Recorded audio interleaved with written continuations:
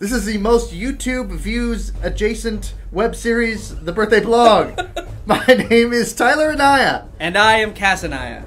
Happy birthday, May 14th. We make art based upon people's birthdays. Round three, where the events of May 14th started with, in the science category, the world's largest set of this particular dinosaur skeleton is seized by the FBI from the Black Hills Institute of Geological Research because it has supposedly been illegally taken from federal land. Yeah.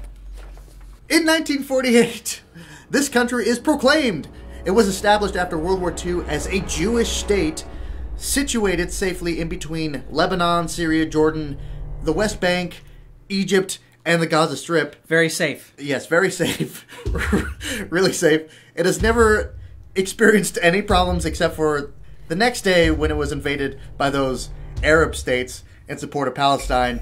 It has been a sad, paranoid boil on the ass of peace since then. Good for you guys. Good. And in 1856, American naval officer David Dixon Porter arrives in Texas with a shipload of these animals from Turkey, probably turkeys. The first imported into the United States for commercial purposes.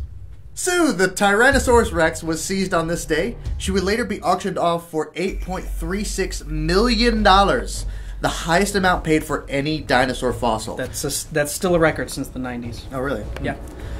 The 65 million year old Sue now lives at Field Museum of Natural History in Chicago, Illinois, and I have seen her. It's actually pretty cool. Oh, really? Yes. Yes. She took she traveled around for a little while, and she went to the Children's Museum, and I saw her there. Hmm. Yeah. She's big. This country is Israel. You didn't say that Jewish enough. Israel. Israel. Israel. Israel. We live in Israel. Israel. Israel. You see, but the peace treaty says we give up this portion of the West Bank from here to here. And this is causing the, the, the, the war and peace here in Israel. Is, is we would give up this region of here to here. As you can see, it's so important that, that this this here becomes this here. And this animal is, of course, camels. And if you believe camel cigarettes, all of their faces look like giant dicks, apparently. And all their feet look like giant vaginas. Yes. So they're they're they're like vagina feet, dick face. Yes. yes. Camels, everyone, are dick face, vagina feet. Oh, thank you, Tyler. Uh, now on round four, where the questions are a little harder. In the science category, this first space station is launched. The the first uh, space station that that Earth gets to say that's a space station. It's in space and it's a station. and in Cold War history, this treaty is signed today between the USSR and all of these Soviet bloc countries as a mutual defense pact in opposition to NATO, the North American Treaty Organization.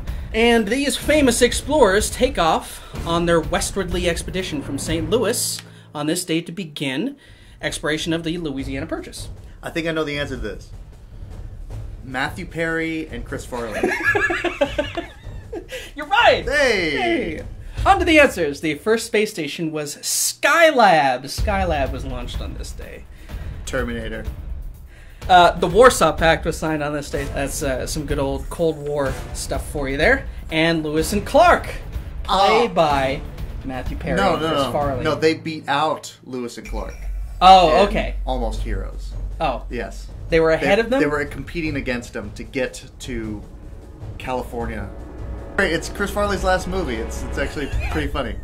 Though we love it when you do, please don't subscribe. I mean, come on. We're not doing this for you people, for people out there. We don't want to we don't like doing this stuff and we we don't we don't want you to actually subscribe. So don't. Uh, for the brothers and I, I'm Cass and this is my brother I. And we're saying, George Lucas, thank you for raping. Jews! Raping Jews. raping Jews, raping Jews. You know, a lot of those those jokes that you made, I found offensive because a lot of people think that I'm Jewish because of the nose. Oh, really? Yeah, Oh. so I find it offensive. Jews. Ju- um, no, no, no, no. George Lucas raped Jewish Native American retards. That's who he raped. He raped Jewish Native American. Are we missing anything from this? Uh, I mean, that's basically what made fun of in this show. Jewish Native American retards from Texas.